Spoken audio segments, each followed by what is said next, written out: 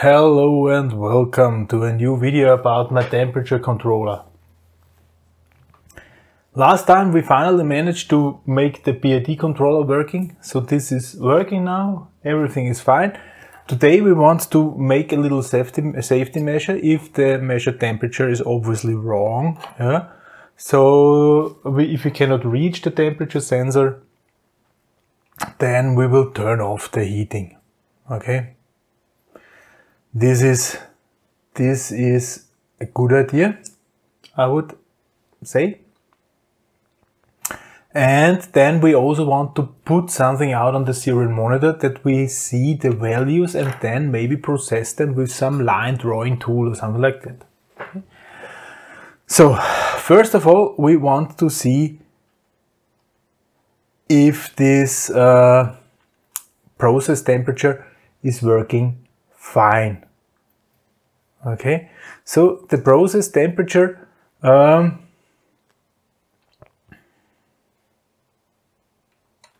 I will also add the other temperatures in variables. Uh, so process, there's the process temperature, then we have long, we have the air temperature,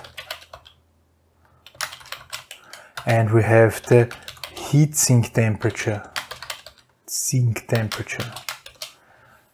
I will also read them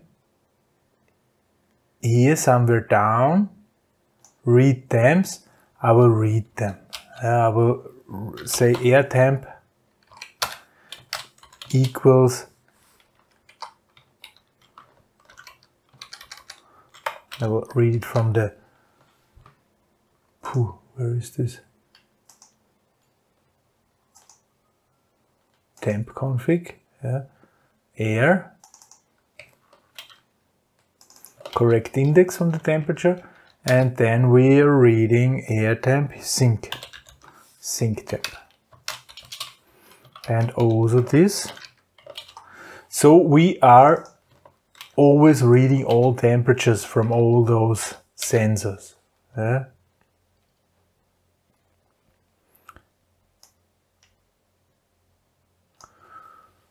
Good, so now we're reading all those temperatures. Uh, and then the process temp, that's, that's a, know that's, if this is wrong, everything else is wrong. So if process temp, and if you have a look at this uh, DS18B20, yeah, there is a value, default value, that's that. Yeah? If we cannot read something out of these uh, sensors, we will get this temperature. So minus, what is this actually? 123,456.78 degrees Celsius. I just selected a value, easy to remember, okay, and which will never occur. So if this is this temperature, uh, then it means something's wrong. Something's really wrong, okay?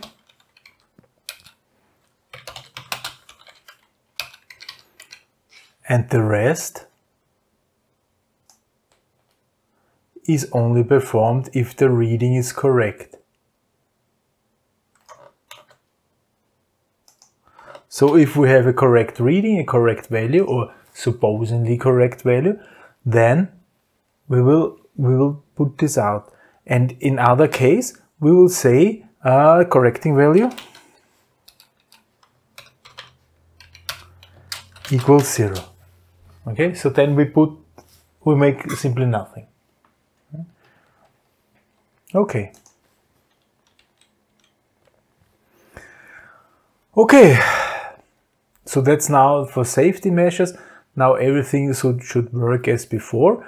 And now I only want to put something out and I do not want to put it out every cycle. I only want to put it sometimes. So I'll make another timeout. And I will say, uh, uh, data to serial. Yeah. And this, how many times I will make every, let's make it every 500 milliseconds. Yeah. So twice a second, new data on the serial board. This is good. And we will, will produce this in the end. We will produce this uh, if data to serial dot timed out timed out we will start over data to serial dot set now. All right and we will make a serial dot print. Temperature.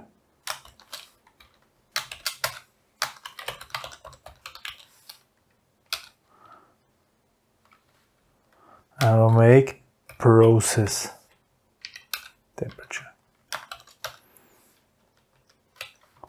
This will need more often now.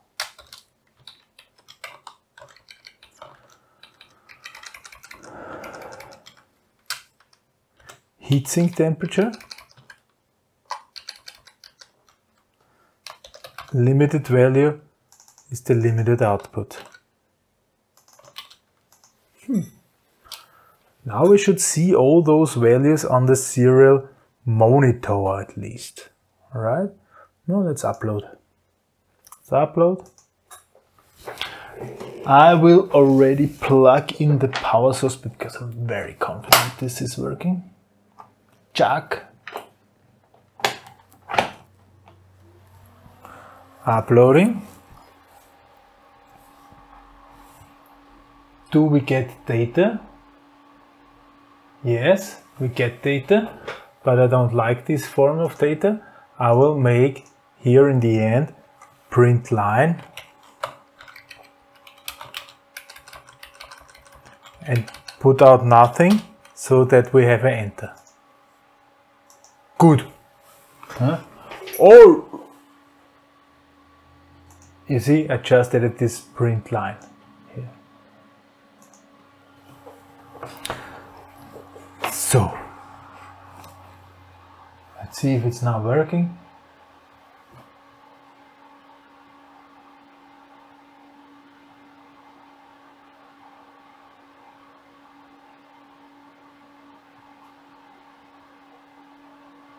Okay, it is working. What's up with the temperature set point? Because why is it set to zero? And not and not why is it not tracked? Why is it not tracked? Set point, I've forgotten to put out the set point. Temperature set point.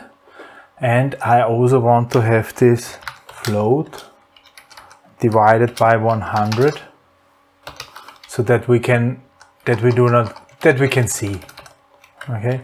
The real values and not not how we handle them in internally as integer. I want to see them here. Good. Uh, but the question still is why is the temperature not not changed Why I cannot operate at all?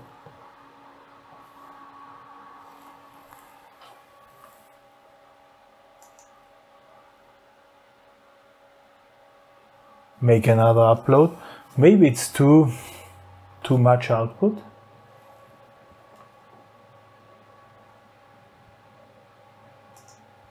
Added those floating. Now we should see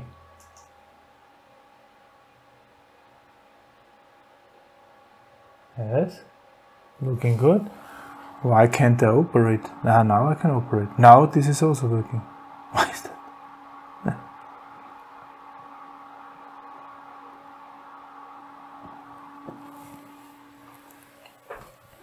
Here we see something. If we, if we start the Arduino, then this uh, the Arduino IDE has some something inside which is uh, you know if we open this uh, tools serial plotter this is how it's called. Then hopefully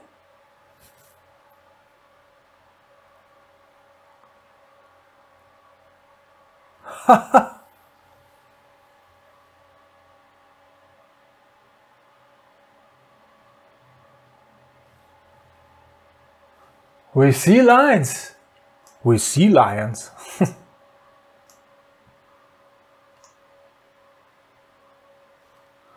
Good, isn't it?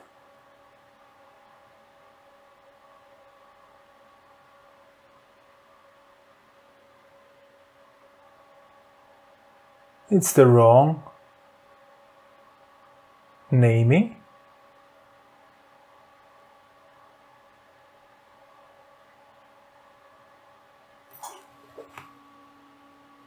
set point temperature the same. I think this is correct. I think it's correct.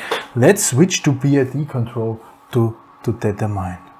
Ooh, this was this was not PID control. Huh? Make this here. Put this to the right so that we can oh let's make this a small small camera. Now now we should be should see what I'm doing here. Switch to PID control Set the set point to 30 degree as before, enter, and turn on the output. Okay, set point was is going to 100 to to to to to uh, and the correcting the correcting value is increasing. The actual temperature, I don't know, should react some at some point in time. Hopefully. You see, now we have lines. Now we have lines. We just used the serial plotter from the Arduino. And this is working. Now we can adjust our our uh,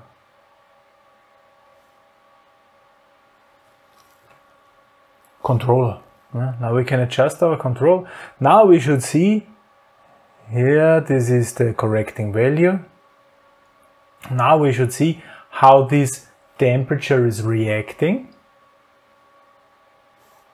Yeah, yeah, yeah, yeah. The, now, with lines, this now, now we can say, okay, it's getting faster, it's getting, it's getting uh, uh, slower and so on. It's still working. Hmm. Afterwards I will also try what is happening if I simply unplug the sensor. I can simply try it. Yeah, you see, typical behavior of a PID controller. Now that this is getting close, it will already go down and you know, there is, this is where you have to select the correct values, the correct parameters, then this is working pretty nice. Right now it's not working pretty nice. You will see there will be an overshoot. I have not changed the parameters, yeah? but we see it's working. It's a PID controller and it's working. Yeah. Yeah. I've already mentioned that the light controllers. Mm -hmm feedback controllers are actually ah, I like it. It's my, my field of profession, so why shouldn't I like it? Okay, this is happening now and see what is happening if I unplug here value. Which have I got? Ooh, it is uh, the heatsink. The, um, I unplugged the heatsink. This is wrong then we should do nothing at all. Plug it in the heatsink, so the other one is probably the see what is happening there book ah you see ha ha ha this is cool huh? correcting value is minus now. Of course, yeah, the limited value is zero. So we are putting out something? No. No. Good. Plug it back in. What is happening?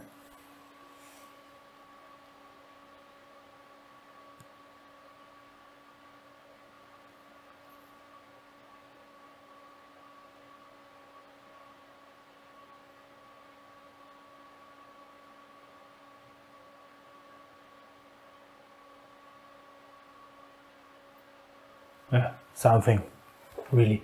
But at least it was safe yeah? at least it was safe.